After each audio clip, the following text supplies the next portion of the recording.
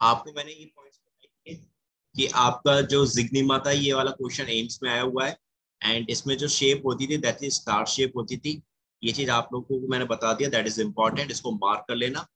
अब बात करते हैं आगे। Next point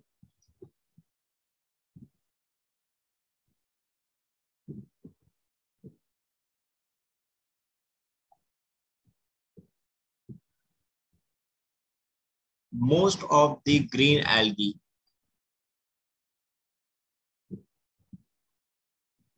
most of the green algae have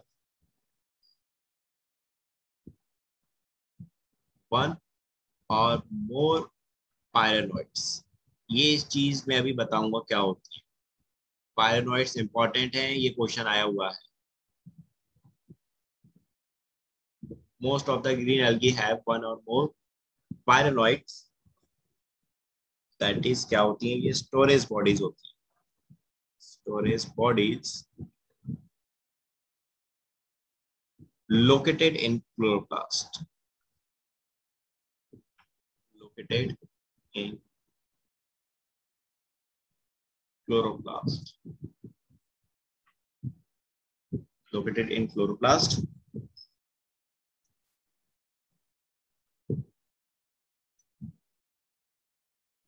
Pyrenoids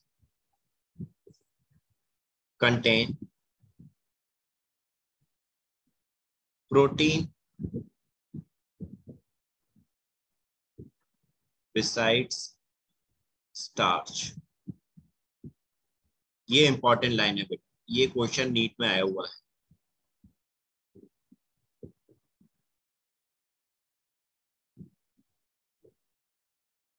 Pyrenoids contain proteins beside starch that is important बेटा। ये वाली लाइन बहुत ज़रूरी है। ध्यान रखो। मैं इसको समझाता हूँ अभी कैसे। पहले एक बार लिख लो।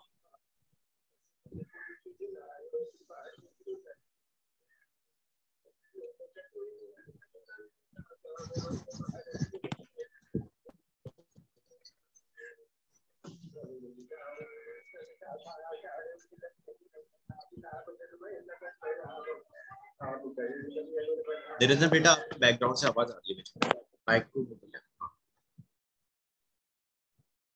तो देखिए बेटे अब आप इस लाइन को समझ लीजिए कि ये लाइन का मतलब क्या है। ये क्वेश्चन इंपॉर्टेंट है क्योंकि नीट में आया हुआ क्वेश्चन है। पहली चीज़ ये इंपॉर्टेंट है। नीट।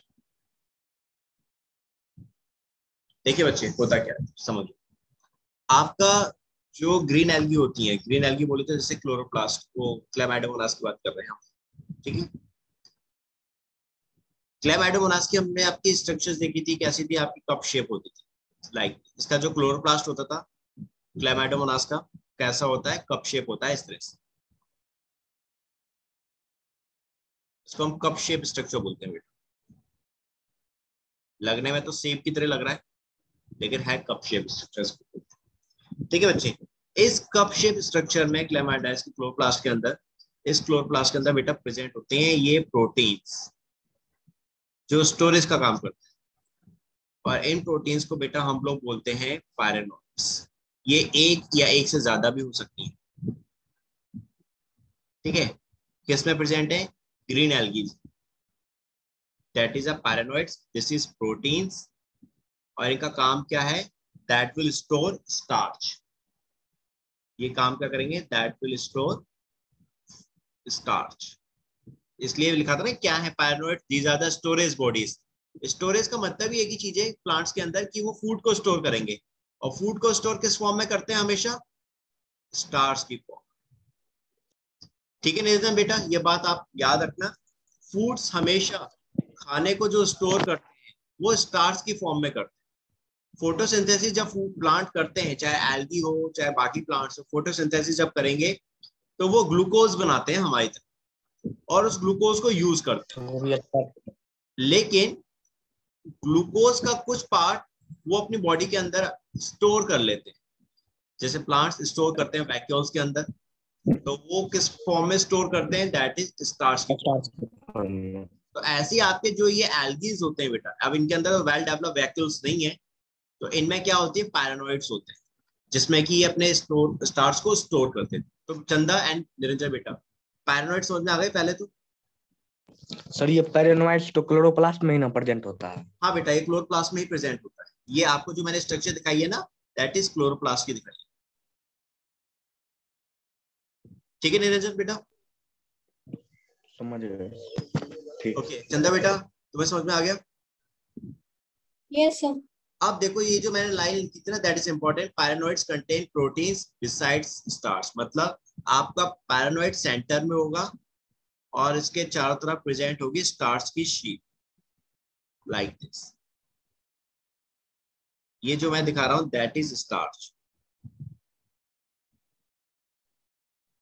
तो ये नीट में क्वेश्चन आया था कि स्टार्च जो होता है, वो कहाँ प्रेजेंट होता है?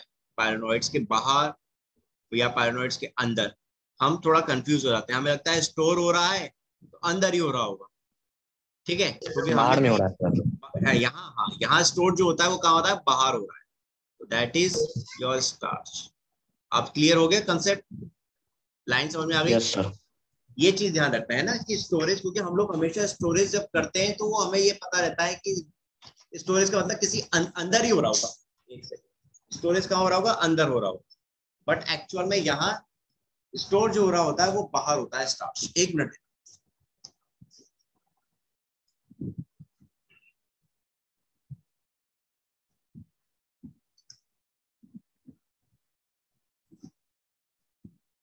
तो स्टार्च कैसा है यहाँ? एक्सोजीनस है। एक्सोजीनस बोले तो बाहर की तरफ़।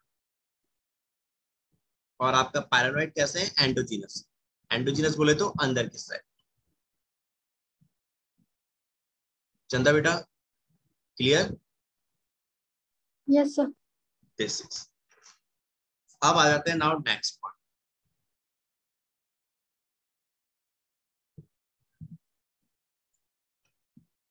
आपके एल्गी जो होते थे ग्रीन एल्गी किस फॉर्म में? फ़ूड को स्टोर करते थे स्टार्स के फॉर्म में राइट लेकिन कुछ एल्गी ऐसे भी होते हैं जो फ़ूड को स्टार्स के साथ साथ ऑयल ड्रॉपलेट्स की फॉर्म में भी स्टोर कर लेते हैं।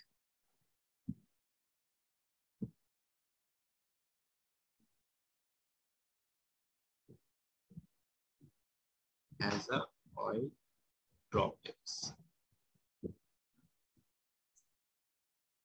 Then इसके बाद नेक्स्ट इनकी सेल वॉल किसकी बनी होती थी? हम पढ़ चुके हैं।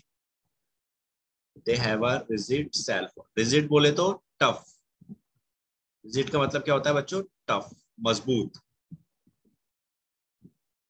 Cell wall made up of cellulose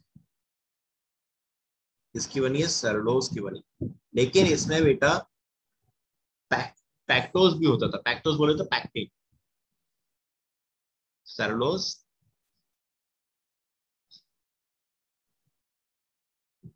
and outer pectose layer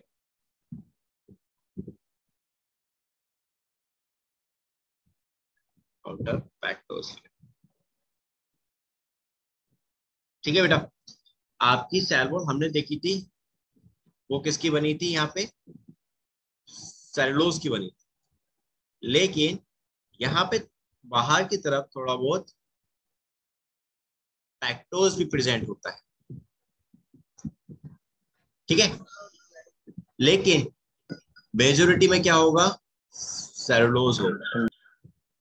सबसे ज़्यादा क्या प्रेजेंट है? सेलुलोज प्रेजेंट है। इसलिए हम लोग क्या बोलते हैं कि सेलुलोज किसकी बनी है? सेलुलोज की बनी पैक्टोज का नाम नहीं लेते, क्योंकि पैक्टोज कम अमाउंट होता है। That is in less amount major amount किसका है? सेलुलोज का है। ठीक है बेटा? इसलिए चंदा बेटा, मैंने आपको जब ग्रीन एल्गी बताई थी तो वहाँ सेलुलोज की लेयर में बताई थी। मैं सेलवॉल में क्या लिखा था? सेलुलोज बताया था। वहाँ मैंने पैक्टोज नहीं लिखा था, क्योंकि पैक्टोज है बट बहुत कम अमाउंट में है। ज़्यादातर क्या है? मेनली कंस्टिट्यूएंट क्या है? आपका सेलुलोज है। क्लियर बच्चे? के बारे में डिटेल दे दीजिए निरेंद्र बेटा आपकी आवाज़ क्लियर नहीं आई एक बार। फिर से आप बताना क्या बोल रहे थे आप बेटा? पैक्टोज के बारे में थोड़ा बता दीजिए। पैक्टोज के बारे में। बेटा देखिए क्या होता है ना आपके कार्बोहाइड्रेट्स होते हैं। सरलोस पैक्टोस ये आपकी कार्बोहाइड्रेट्स होती थी। ये लेयर क्या करती थी? ये किसी भी लिविंग की सेल वॉल को बनाने का काम करते हैं। ठीक है? किसी भी लिविंग की सेल वॉल जो बनती है बेटा, वो आप इन्हीं की बनती है सेलोस पैक्टोस ठीक है? काइटिन ये सब के सब आपके एक पॉलीसेक्राइड से कार्बोहाइड्रेट्स ठीक है? और इनका काम क्या है? किसी भी लिविंग की सेल वॉल बनाना एनिमल्स को छोड़ के, क्योंकि हमारे अंदर सेल वॉल नहीं होती तो इसलिए हमारे में सेलोस पैक्टोस ये सब नहीं ठीक है? प्लांट्स की, लेकिन जब हम सेल वॉल की बात करते हैं, क्योंकि we are talking about plants algae क्या है? प्लांट्स है। सिंपल प्लांट है। सबसे सिंपलेस्ट प्लांट है आपके एल्गी तो इनमें भी सेल वॉल जो बनी होती है बेटा सेलोज तो होगा ही होगा। सभी में। अभी जैसे ग्रीन एल्गी हम देख रहे हैं, यहाँ भी सेलोज है। ब्राउन एल्गी देखेंगे तो वहाँ भी सेलोज होगा। प्लस रेड एल्गी देखेंगे तो वहाँ भी सेलोज होगा। लेकिन सेलोज के अलावा वहाँ पर कुछ और आपके कार्बोहाइड्रेट्स ऐड हो जाएँगे, जो सेल वॉल को टफनेस प्रोवाइड करेंगे। तो यहाँ जैसे कि सेलोज तो है ही मेन इसके साथ पैक्टोज भी थोड़ा बहुत आ गया आउटर सरफेस में और ये पैक्टोज क्या कर रहा है टफनेस प्रोवाइड कर रहा है। इसलिए मैंने आपको शुरुआत में क्या लिखवाई है that is they have a rigid cell wall तो पैक्टोज के मतलब समझ में आ चुका होगा that is a complex carbohydrates and cellulose भी वही है आपका क्लियर बेटा? यस क्लियर अब आ जाते हैं नाउ नेक्स्ट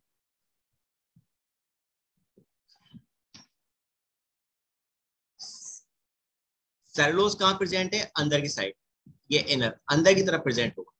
और पैक्टोज कहाँ प्रेजेंट होगा? बाहर की तरफ़. ये चीज़ थोड़ा सा ध्यान रखेंगे आप.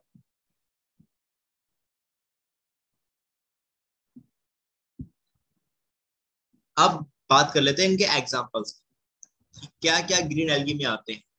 तो याद रखने का तरीका. Classy car S V classy car S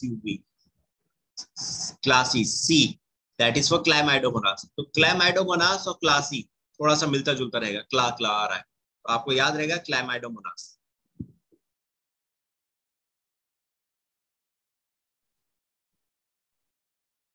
that is Chlamydomonas बेटा। ठीक है?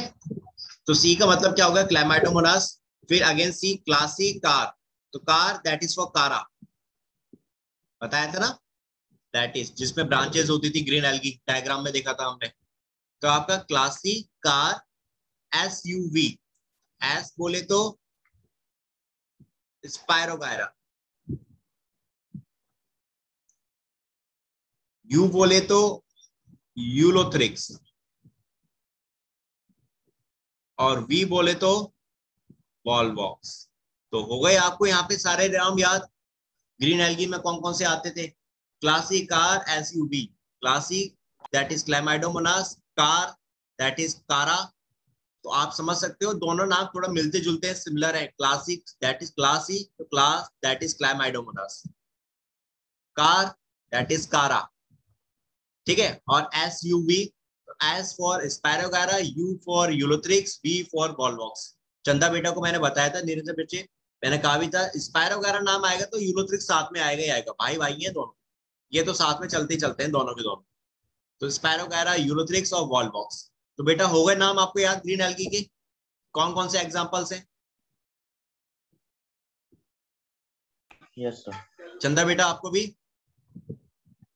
यस सर बस चलो आज के इतना ही। बाकी हम लोग कल पढ़ेंगे। ओके बच्चों समझ में आई कहानी आज? निरंजन बेटा आपको? यस सर थैंक यू बेटा आपको समझ में आ गया ना कंसेप्ट आज के? आप एक चीज़ देखना हमने कल जो पढ़े थे, वही चीज़ें आज बहुत सारी रिपीट करेंगे। यही सारा रिपीटेशन होगा। मैंने ना चिदेजा बेटा, कल की क्लास में एक पूरा का पूरा फ्लो चार्ट आई मीन पूरा पूरी टेबल दे दी थी। जिसमें मैंने ग्रीन ब्राउन और रेड एल्गी के मेन मेन जो कैरेक्टर्स हैं, वो सारे हमने डिस्कस कर लिए। तो अब उन्हीं को ही हम लोग वापस रिपीट करेंगे, कुछ पॉइंट्स बस एक्स्ट्रा आएँगे।